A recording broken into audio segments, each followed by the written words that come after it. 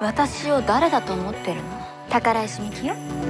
性格以外はパーフェクトな彼女に訪れた人生最大の失恋。ほらちょっと！ミスキャンパスグランプリで7のどこまで初めて3年連続表紙飾って！その私を無視するなんて！渚のつまり痛い女もう一度あいつを振り向かしてゴミのように捨ててやる。政治家一家の御曹司様は痛くも痒くもない。無理じゃない。じゃあ総理大臣にでもなってみれば。宝石美希この度総理大臣を目指すことになりました。2人が気づいたリベンジよりも大切なもの。お前が見てるのはもうあいつじゃないんだから。やってやるわよリベンジガール。